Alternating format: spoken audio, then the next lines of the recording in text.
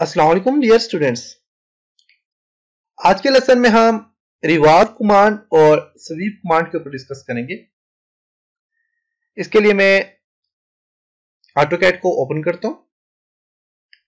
आज के लेसन में हमने रिवॉल्व कमांड और स्वीप कमांड के ऊपर डिस्कस करना है।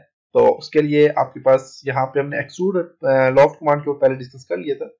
प्रीवियस लेसन में, आज के लेसन में मैं रिवॉल्व एंड स्वीप के ऊपर देखते हैं कि इनका क्या फ़ंक्शन है। तो इसके लिए मैं इसे थ्री व्यू में लेके जाता हूँ। एस डब्ल्यू एसोमेट्रिक में लेके जाता हूँ और यहाँ से इसको रियलास्टिक व्यू में लेके जाता हूँ।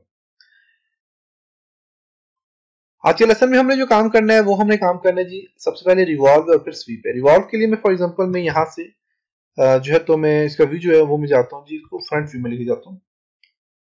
फ्रंट व्यू में लेके जाता हूँ और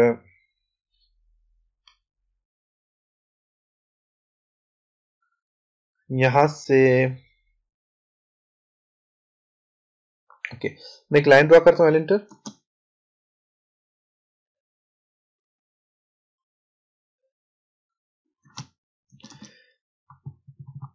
पी एल एंटर करता हूँ पोली लाइन के लिए. पोली लाइन ली मैंने. यहाँ से यहाँ तक. तो ये क्या ऑब्जेक्ट मैंने एक बनाया, एक मैंने डिज़ाइन दिया है, एक स्टाइल मैंने बनाया यहाँ पे. मैं चाहता हूँ कि ये थ्री में आए मेरे पास और थ्री में ये कंप्लीट एक राउंड शेप में यहाँ पे आ जाए कंप्लीट थ्री डिज़ाइन बन जाए, इसी स्टाइल में डिज़ाइन बन जाए। तो उसके लिए मैं यहाँ से, अब दोबारा से एस डब्ल्यू एस मैट्रिक में जाता हूँ। और व्यू में जाके तो मैं इसको फ्रंट की जगह में इसको वर्ल्ड व्यू करता हूँ या फिर इसको टॉप व्यू करता हूँ। यहाँ से अपने व्यू में ये सारे काम करने यहाँ पे। जो कोऑर्डिनेट सिस्टम है, ये आपने समझने इसमें क्या है? वर्ड जो होता है बेसिकली बॉटम के लिए है, होता है। टॉप कोई भी आप ऑब्जेक्ट बनाते हैं तो वो बॉटम से टॉप की तरफ़ आते हैं। बॉटम और टॉप का दोनों फ़ंक्शन यहाँ पे बिल्कुल समझ सेम ही है। लेफ़्ट कोई ऑब्जेक्ट लेफ़्ट साइड से बनाना चाह रहे हैं लेफ़्ट आ जाएगा। राइट साइड से बनाना चाहते हैं राइट साइड आ जाएगी और फ्रंट से बनाना चाहते हैं फ्रंट और बैक बनाना चाहते हैं। फॉर एग्ज़ाम्पल मैं कोई ऑब्जेक्ट जैसे कि मैं मैं बैक सेलेक्ट करता हूँ और मैं एक रेक्टेंगल ड्रॉ करता हूँ। अब जो रेक्टेंगल होगा, ये बेसिकली इसके बैक पे है। ये जो ऑब्जेक्ट है, इसके बैक पे ये रेक्टेंगल तो आप यहाँ से व्यूज़ आप सिलेक्ट कर सकते हैं। तो मैं इसको यहाँ से सिलेक्ट करता हूँ जी आप टॉप में सिलेक्ट कर लेता हूँ। उसके अलावा ये आप पास यूसीएस आइकन की प्रॉपर्टीज़ हैं। ये आपके पास यहाँ पे जो है तो यूसीएस आइकन है नेम आइकन है और वर्ड का यूएस यूसीएस आइकन है। तो ये जो नीचे आप पास यूसीएस आइकन है ये वाले तो ये आप यहाँ से इनका स्टाइल चेंज कर, जैसे कि मैं वर्ड पे क्लिक करता हूँ तो मेरे पास स्टाइल जो वर्ड वाला आ जाएगा। तो आप यहाँ से यूसीएस आइकन का स्टाइल थोड़ा चेंज कर सकते हैं। ये कोऑर्डिनेट सिस्टम है वर्ड यूसीएस आइकन सारे सारे कोऑर्डिनेट सिस्टम है। तो इसमें समझने के बाद सिर्फ़ और सिर्फ़ फ़िलहाल यही चीज़। है बाद में हम जब प्रोजेक्ट बनाएँगे तो मैं आपको फिर समझाऊँगा इनके क्या फ़ंक्शन है। और ज़्यादातर लोग आप इंटरनेट पे ड्राइंग सर्च कर लें, जो लोग प्रोजेक्ट बना रहे हैं तो वो इन चीज़ों का इतना यूज़ नहीं कर रहे हैं। हालाँकि इनका बहुत फ़ायदे हैं यहाँ पे। आपको बार बार व्यू चेंज नहीं करनी पड़ती। आप यहाँ से डायरेक्ट लेफ़्ट साइड से बना सकते हैं। आप कोई भी काम करते हैं। जब हम काम करेंगे प्रैक्टिकली तो मैं आपको कंप्लीट डिटेल से समझाऊँगा कि इनका इनका हम कैसे यूज़ करते हैं। ओके तो मैं इसको टॉप व्यू कर लेता हूँ। ओके अब मेरे पास यहाँ पे जो ऑब्जेक्ट है, इस ऑब्जेक्ट को मैंने जो है तो थ्री में कन्वर्ट करना है तो उसके लिए मैं यहाँ से सॉलिड में जाता हूँ और मैं यहाँ से रिवॉल्व कमांड अप्लाई करता हूँ। तो देखिए रिवॉल्व कमांड ये रिवॉल्व कमांड आप एक छोटी सी कमांड जो है रिवॉल्व ये हज़ारों काम कर सकती है। जैसे कि मैं कोर फॉर एग्जांपल यहाँ पे एक मैं ऑब्जेक्ट ड्रॉ कर लेता हूँ, जी। इसमें एक रेक्टेंगल ड्रॉ कर लेता हूँ फॉर एग्ज़ाम्पल तो उसके लिए मैं यहाँ से इसका व्यू जो है तो बना लेता हूँ। यहाँ से इसका व्यू जो है तो मैं इसी तरह फ्रंट करता हूँ और मैं एक रेक्टेंगल ड्रॉ करता हूँ।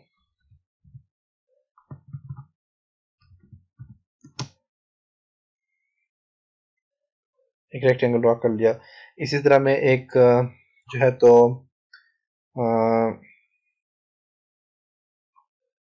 आर्क बना लेता हूँ एंटर करता हूँ।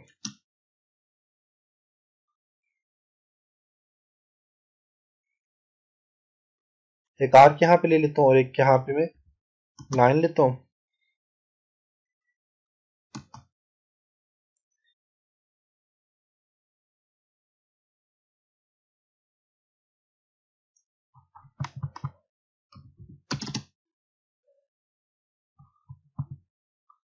देखते हैं इसमें क्या बनेगा। और एक लाइन ड्रॉ करता हूँ। ओके चलिए कोशिश करते हैं हम तीन, दो, तीन ऑब्जेक्ट बना लेते हैं अब मैं यहाँ से जो है तो इसको एस डब्ल्यू एसमेटिक व्यू में लेके जाता हूँ। और यहाँ से व्यू में जाके तो इसको भी आप फ्रंट की जगह आप यहाँ से टॉप व्यू पे ले ओके सबसे पहले आप यहाँ से रिवॉल्व कमांड की शॉर्ट कमांड होती है वो होती है आर ई रिवॉल्व कमांड ऐसी शॉर्ट कमांड होती है R R R E V आपने सर टाइप किया तो रिवॉल्व आ गया रिवॉल्व पे क्लिक करें। अपने ऑब्जेक्ट को सिलेक्ट करें रिवॉल्व करना चाह रहे इसको सिलेक्ट किया और मैं इसको एंटर करता हूँ स्पेस प्रेस करता हूँ। हम उसे कह रहे हैं स्पेसिफाई एक्सेस कौन से एक्सेस से कहाँ तक आप लेके जाना चाह रहे हैं? तो मैं इस एक्सेस से लेकर इसको यहाँ तक, इस एक्सेस तक इसको क्या करता हूँ रिवॉल्व करता हूँ। तो आप बस यहाँ पे देखें तो ये जो मैंने टॉप से स्टार्ट किया टॉप जेड एक्सिस से लेकर मैंने बॉटम जेड एक्सिस पे मैंने काम किया। इसी तरह एक्स एक्सिस पे काम करेंगे तो आपस एक्स एक्सिस आ जाएगा और वाई एक्सिस पे काम करेंगे वाई एक्सिस आ जाएगा। तो ये object X Y X Z axis है। तो आसान तरीका ये कि आप वहाँ से ड्रैग कर लें जहाँ तक अपने काम करें। तो यहाँ से, यहाँ तक इसको रिवॉल्व करना चाह रहा हूँ। और देखें, अब देखिए बहुत ज़बरदस्त आपका ऑब्जेक्ट बन गया। अब कितना आपने इसको रिवॉल्व करना है एंगल दें। तो एंगल में इसको देता हूँ फॉर एग्ज़ाम्पल इसको एंगल में देता हूँ जी। थ्री सिक्सटी कंप्लीट एक ऑब्जेक्ट बनाकर बनाना चाह रहा हूँ। तो देखिए आपस ये क्या हो गया? रिवॉल्व ऑप्शन यहाँ पे है और आपस देखिए बहुत ज़बरदस्त ऑब्जेक्ट बन गया। इसी तरह मैं इस चीज़ को रिवॉल्व करना चाह रहा हूँ। तो इसके लिए भी मैं यहाँ से एक आर ई वी एंटर करता हूँ, देखता हूँ कि ये ऑब्जेक्ट रिवॉल्व होता है कि नहीं। सिलेक्ट एंटर और इसको मैं कहाँ से कहाँ तक रिवॉल्व करना चाह रहा हूँ। इस एंगल से लेकर, इस एंगल तक मैं इसको रिवॉल्व करता हूँ। देखिए बस क्या हो गया, यहाँ तक रिवॉल्व हो गया। इसको मैं थ्री करता हूँ। इसको भी मैं थ्री सिक्सटी एंगल देता हूँ। देखिए, मेरे पास ये ऑब्जेक्ट रिवॉल्व हो चुके हैं। देख सकते हैं। आर ई वी एंटर करता हूँ। ऑब्जेक्ट को सिलेक्ट करता हूँ राइट क्लिक करके एंटर करता हूँ और को यहाँ तक मैं रिवॉल्व करना चाह रहा हूँ। 360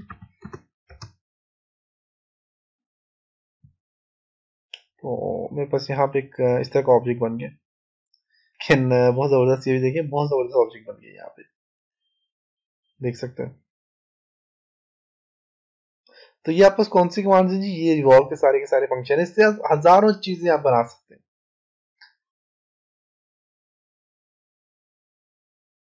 देख सकते हैं।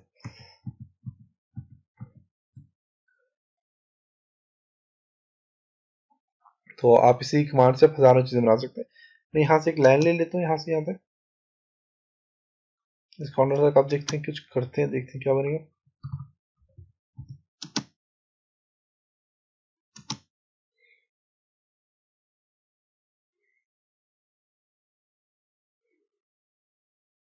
सिक्सटी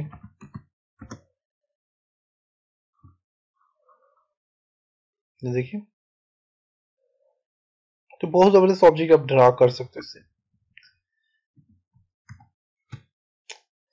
तो आप इस तरह के आप काफ़ी सारे ऑब्जेक्ट यहाँ पे बना सकते हो। तो ये आपका ऑप्शन था जी रिवॉल्व कमांड का। रिवॉल्व में और देखते हैं कौन से जी इस पास रिवॉल्व तो बस यही आप उसके बाद स्वीप कमांड स्वीप कमांड के क्या काम होते हैं, उसके ऊपर डिस्कस करते हैं। तो आप यहाँ पे ज़्यादा ऑब्जेक्ट बना सकते हैं इस तरह। तो आप यहाँ पे प्रैक्टिस करें, बहुत ज़्यादा आपको आप बना लेंगे तो उसके बाद sweep command sweep command basically क्या होता है फॉर एग्जांपल यहाँ से मैं जो है तो मैं इसको जाता हूँ जी फ्रंट व्यू में। फ्रंट व्यू में मैं pole and P L enter करता हूँ। एक आर्क ले लेता हूँ।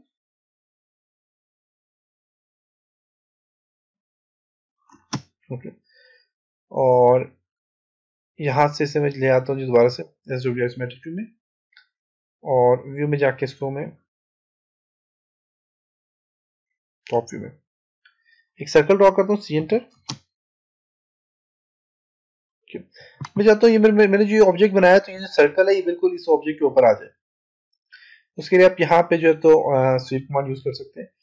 तो उसके लिए मैं सॉलिड में जाता हूँ और यहाँ पे स्वीप पे क्लिक करता हूँ। और कह रहा है सिलेक्ट ऑब्जेक्ट किसको स्वीप करना चाह रहे हैं सर्कल को स्वीप करना चाह रहा हूँ। उस बाद आपसे कह रहा है कि आपने अलाइनमेंट देनी है बेस पॉइंट देना है स्केल देना है ट्विस्ट करना है। इसको मैंने सिलेक्ट किया और मैं इसको यहाँ से सिलेक्ट स्वीप पाथ पाथ में देता हूँ इसको यहाँ से तक। तो ये देखिए, मेरे पास यहाँ पे क्या हुआ, एक स्वीप कमांड यहाँ पे अप्लाई हो चुकी है। ट्विस्ट और बेस पॉइंट और ये क्या चीज़ें यही चीज़ें। दोबारा से मैं यहाँ पे जाता हूँ स्वीप पे क्लिक करता हूँ। ऑब्जेक्ट को सिलेक्ट करता हूँ। और अलाइनमेंट देना चाह रहा हूँ फॉर एग्ज़ाम्पल मैं चाहता हूँ एक अलाइनमेंट के थ्रू वापस आ जाए तो अलाइनमेंट पे क्लिक करें। कौन सी अलाइनमेंट है? यस कर लें। तो बिल्कुल ये अलाइनमेंट एक अलाइन के ऊपर आपस ये काम करेगा। इससे आप यहाँ से दोबारा से स्वीप के ऊपर क्लिक करें। अपने ऑब्जेक्ट को सिलेक्ट करें। बेस पॉइंट कौन सा है? कौन से पॉइंट से आपसे स्वीप करना चाह रहे हैं? क्लिक करें। इस पॉइंट से मैं इसको स्वीप करना चाह रहा हूँ। और क्लिक करें। तो देखिए उसी पॉइंट से स्वीप हुआ ट्विस्ट क्या होता है? कि आपके पास ये ट्विस्ट बन के आ जाएगा, जैसे कि मैं यहाँ पे स्वीप पे क्लिक करता हूँ। और बेस स्केल कितना कितना स्केल आपसे स्वीप करना चाह रहे हैं? स्केल पे क्लिक करें। तो स्केल में एंटर स्केल फैक्टर जो है तो आप दे दें। स्केल फैक्टर में इसको देता हूँ जी। थ्री इंचेस और पाथ दे दें इसको। तो सिंगल भी आपस ये आ जाएगा। इसी तरह आप स्वीप के और भी काफ़ी सारे फ़ायदे हैं। क्लिक करें आप यहाँ पे। ट्विस्ट का क्या फ़ंक्शन है? वो रेक्टेंगल या चीज़ों के ऊपर होता है, मैं भी आपको बताता हूँ। मैं फॉर एग्ज़ाम्पल एक स्प्रिंग ड्रा करता हूँ। मैं होम में जाता हूँ और यहाँ से एक स्प्रिंग बनाता हूँ स्प्रिंग की शीट बनाता हूँ तो मैं यहाँ से एक हेलिक्स कमांड अप्लाई करता हूँ। हेलिक्स कमांड के लिए मैं से स्पेसिफिक सेंटर पॉइंट देता हूँ। और यहाँ से इसको मैं जो है तो दस फिट रेडियस देता हूँ। और टॉप का रेडियस कितना चाहिए, वो भी उसको देता हूँ जी दस, बल्कि उसको मैं देता हूँ जी टॉप रेडियस भी दस ही दे देता हूँ क्योंकि स्प्रिंग शेप बनानी तो दस फीट टॉप रेडियस आ गया। अब यहाँ से नंबर ऑफ़ टर्न में बढ़ा देता हूँ, उसके नंबर ऑफ़ टर्न इसको देता हूँ, जो थ्री है सिक्स नंबर ऑफ़ टर्न में इसको देता हूँ और स्पेसिफाई हाइट दे देता हूँ इसको मैं।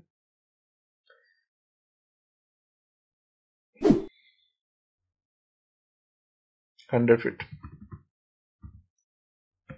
ओके अब एक सर्कल ड्रॉ करता हूँ सी एंटर अब मैं एक स्प्रिंग बनाना चाह रहा हूँ तो मैं यहाँ से इसी तरह स्वीप कमांड अप्लाई करूँगा तो एस डब्ल्यू शॉर्ट कमांड है एस डब्ल्यू एंटर करें। अपने ऑब्जेक्ट को सिलेक्ट करें स्पेस प्रेस करें और इस ऑब्जेक्ट को सिलेक्ट करें। तो आप बस देखिएगा कि ये ऑब्जेक्ट क्या हो जाएगा स्वीप हो जाएगा। तो अभी मेरे पास सिस्टम हैंग हो गया ओके तो यहाँ पे देख सकते हैं तो आपस ये क्या होगा एक स्प्रिंग की शेप बन गई। तो देखिए, आपस ये क्या होगा स्वीप कमांड भी यहाँ पे अप्लाई होगी तो आप स्वीप की वजह से भी काफ़ी सारे ऑब्जेक्ट बना सकते हैं, काफ़ी सारी ड्राइंग्स आप बना सकते हैं थ्री मॉडलिंग कर सकते हैं। तो ये था जी आज का लेसन उम्मीद है कि आपको यहाँ तक समझ आया होगा। चलो नेक्स्ट लेसन में कुछ और चीज़ों के ऊपर डिस्कस करेंगे, तब तक अपना ख्याल रखिएगा।